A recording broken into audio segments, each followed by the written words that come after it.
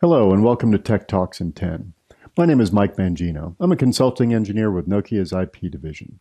Today I'm here to talk to you about EVPN multi-homing and how it can help replace traditional L2 Ethernet technologies to help you build a more scalable and survivable network. These technologies have been developed to help enhance EVPN solutions while still maintaining backward compatibility with legacy Ethernet switching. Legacy data center switching networks use lag bundling and spanning tree for redundancy and survivability during failures. As we move from these technologies and start using a BGP control plane for these networks, we need to have new tools in the toolbox to help provide the same or better level of redundancy. So, a bit of an agenda. First, we're going to talk about terminology and concepts. We're going to talk about the different modes of operation for EVPN multi-homing, whether it be single active or all active. We're going to talk about signaling. We're going to talk about discovery, DF election, and handling of the different traffic types. What are those? They're broadcast, known unicast, and then we're going to talk about failure scenarios on top of that. Terminology and main concepts there are always new acronyms to learn in every technology. And most people know the terminology of uh, the PE and the CE. These are the demarc devices at the provider edge and customer edge of the network, respectively. We have an ESI, or the Ethernet Segment Identifier. The ESI is the attachment circuit into the EVPN from the PE to the CE. We have a broadcast domain, which is a BD or MAC VRF. We have an EVI, EVPN instance, DF, or designated forwarder, NDF, non-designated forwarder. Then we have an Ethernet segment and virtual Ethernet segment. These are the links that connect the CE to the PE, and the Ethernet segment identifier is unique across the network. You can have up to four PEs per ES, and an ES on a PE can contain a lag port, MPLS tunnel, pseudowire, VLAN, QinQ tag combinations, or even a VXLAN instance. The ES is defined in RFC 7432 BGP MPLS based Ethernet VPN. And the virtual ES is defined in draft BESS Ethernet, uh, EVPN virtual Ethernet segment. Single active mode is multi-homed, but you have one active PE at a time. Lag or pseudo-wire to the CE is uh, required. In all active multi-home, you can have two or more PEs, up to four, and lag to the CE is required. In EVPN, we really do have the ultimate multi-homing solution whether it be physical links or virtual, automated or full manual control, you can choose. The drafts that were mentioned on the last slide deal with two very important aspects of multi-homing, connectivity between the PE and CE, and how we deal with broadcast unknown multicast traffic, i.e. loop avoidance in these networks. Virtual Ethernet segments, the draft BESS that we talked about before, really talk about the association between the EVPN and any tunnels, VLANs, or any other virtual interface rather than the physical, and how they are supported in the various service types, whether it be VPWS, etc. In RFC 8584, that's the framework for Ethernet VPN designated forwarder election. We can have an automatic or service carving uh, load balancing scenario. We can have manually provisioned load balancing, and we can do preference based with a non-revertive option in the event of, that the primary circuit comes back. So in all active scenarios, we have re some required procedures for loop avoidance. Designated forwarders are responsible for this, and it could be compared in function to the concept of a root bridge and spanning tree. The DF election helps us avoid duplicate bum flooding to, in all active CE scenarios because the DF is the one responsible for the bum flooding into the Ethernet segment. Split Horizon ensures that the broadcast traffic sent to the non-DF is not replicated back onto the Ethernet segment. Aliasing allows load balancing to the PEs that are part of the ESI, meaning we can provide per service load balancing in single active and all active scenarios. There are also some required procedures uh, for single homed uh, deployments. You know, back when we had VPLS, um, you know, it, our previous L2 uh, technology of choice, we learned some lessons that have really helped us to increase scalability. In a multi-homing VPLS, individual MAC flush messages had to be sent per service in order to flush the MACs on the remote PEs.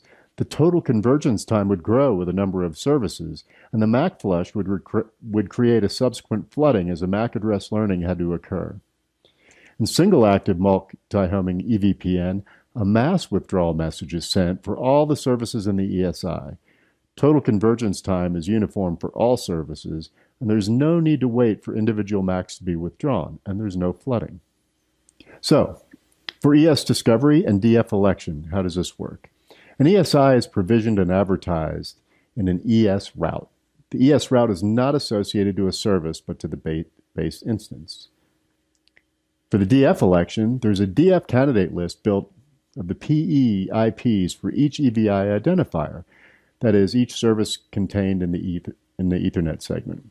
The DF election can be non-revertive if the DF algorithm is preference-based. The candidate list per EVI can be modified based on the operational status of the access interface or pseudowire. That's uh, attachment circuit influence DF election.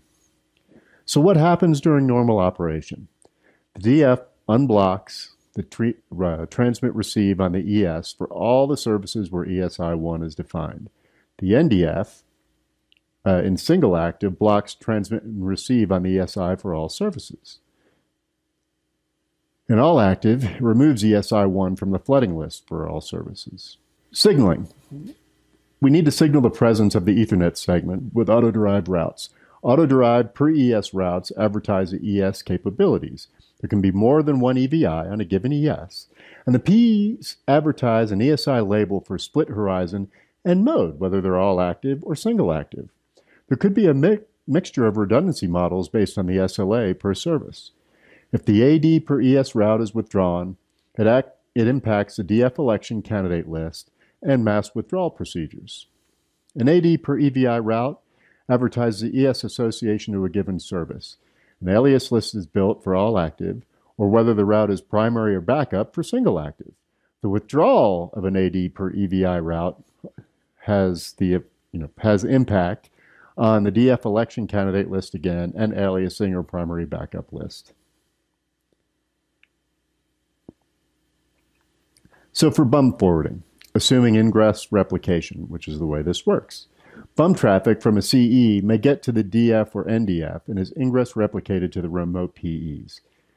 In this case, the NDF does not send any bum frames into the ESI. The designated forwarder doesn't send bum frames with its own ESI label into the ESI, meaning traffic received on the ES from other sources doesn't get replicated again. Bum traffic from CE1 only makes it to the DF and is if bum traffic from CE1 only makes it to the DF and is ingress replicated to the remote PEs, NDF doesn't send any frames into the ESI. And again, the DF doesn't send bum frames with its own ESI label into the ESI.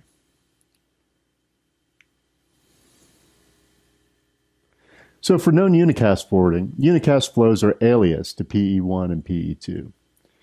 CE1 MAC is associated to ESI1 with an RT2 route, and PE4 knows it's all active. PE4 hashes the ingress flows and picks a next hop for the ESI for a given flow, and the unicast flows are sent to the DF. CE1 MAC is associated ESI1, so PE4 knows it's single active. PE4 installs only one primary next hop for ES1 based on the MAC route's next hop. So failure scenarios. This is where it gets interesting. A failure on PE3, whether it be a ES link or a node or the service access point, PE3 is removed from PE4's next hop list for the ESI as soon as the AD per ES or per EVI withdrawal is received. If there's an AD per ESI withdrawal received first, it'll remove PE3 next hop for all the services. And PE2 becomes a DF a failure on PE3 on the transport side or any of the above, the PE3 is removed as primary next hop and the backup next hop is used. And if an AD per ESI uh, withdrawal is received first, it'll remove PE3 again for all the services. Again, PE2 becomes a designated forwarder, and there's no MAC flush as long as the MAC route is still active, unless there are more than two PEs in ESI1. So what's next? Well, I'd really like to thank you for your time today and hope that this information was helpful. For more information on EVPN technologies and use cases, please see the links on the slide or contact your Nokia representative. Thanks again for your time and have a great day.